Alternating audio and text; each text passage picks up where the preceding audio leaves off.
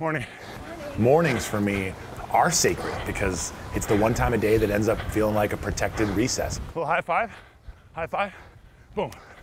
I don't remember a really great day that I had where I hadn't had some movement or a good workout or a good run. And my friends and I have this joke that I've, that I've built a second day into every day of the week. My first day starts at around 4 a.m. Whether it's Surf Friday, Karim Gym, November Project San Diego, these solo runs, 7-Eleven, whatever we're up to, I get to be free. I love my wife and I love my kid, but I still love fun, free time. We found and helped create new athletes. We had professionals there, we had couch potatoes there, we had old people, we had fat people, we had good looking people and weird looking people. Come one, come all. It was all about just show up, however that is. Show up grumpy, show up tired. Oftentimes, November Project will begin with what we call the bounce. Now, the bounce is very simple. We pretend that it's a warm up, but it's not.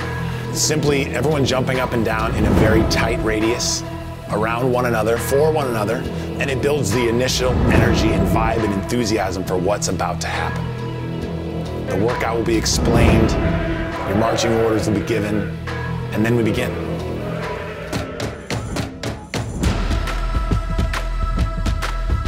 It's like the opposite of a gym vibe. The gym, when it's crowded and everyone's got their headphones in and they're taking selfies in the mirror and you know puffing your chest, that sucks.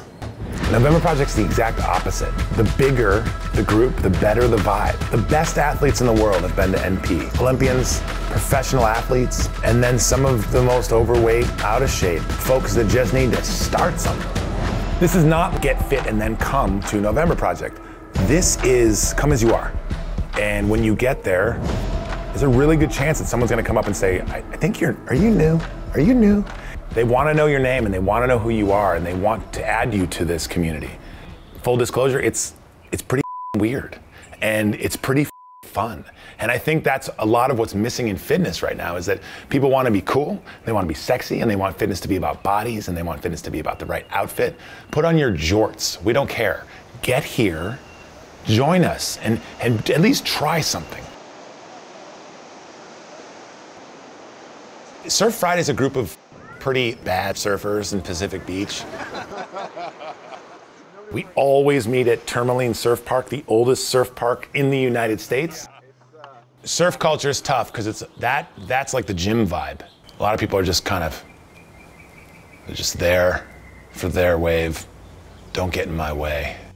When I'm by myself, I paddle out and I see a bunch of really serious surfers, and they don't know me. So this always it lands half the time. I say, guys, I, hey guys, just a little heads up.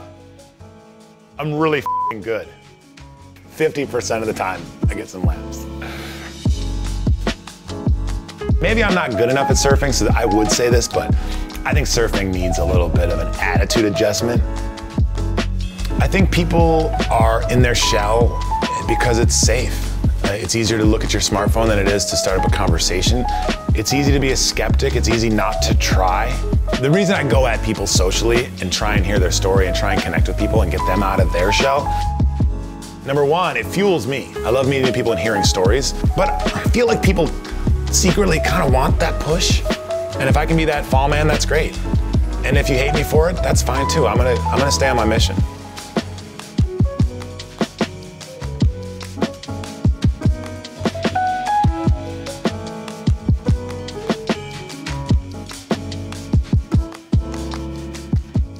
You really want to know what Brogan's about? Brogan is a uh, great human. He's kind. He's full of energy. All the loud, tall, big personality. Could successfully start a cult and probably convince people to.